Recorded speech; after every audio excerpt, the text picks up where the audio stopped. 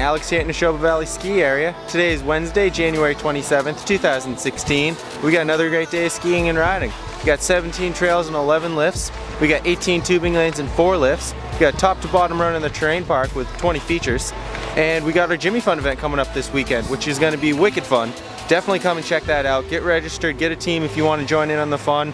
Um, this event you can literally buy your way to the podium through fundraising, so be sure to get on that and get here for that event.